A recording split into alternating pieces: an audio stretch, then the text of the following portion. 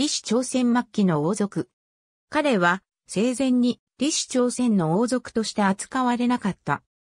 彼は一生何の爵位も官職も受けなかった。一説には彼も恩彦君の諸子という説がある。初期の生涯と活動は不詳である。小根聖子の諸子の恩彦君の息子である。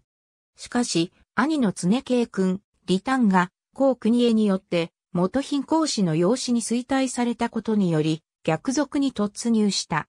当時清楚は20代の年齢でありと十分に救助と他の女性を妊娠させることができた。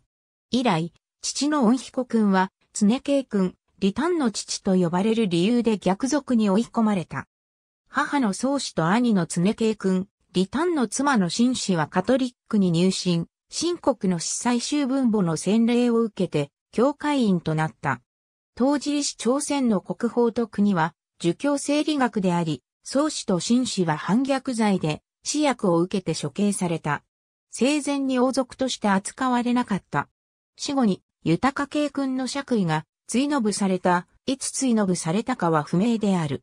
李が生まれた前に、息子なく、死刑たおじの恩前君の養子に、養子縁組された、いつ養子縁組されたかは不明である。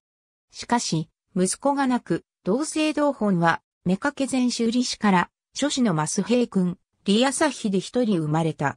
1826年に死亡したが、李の死亡場所と死亡の原因は知られているものがない。1849年アキラ収束以後、再び、李は、アキラ州によって、恩前君の養子に、養子縁組された。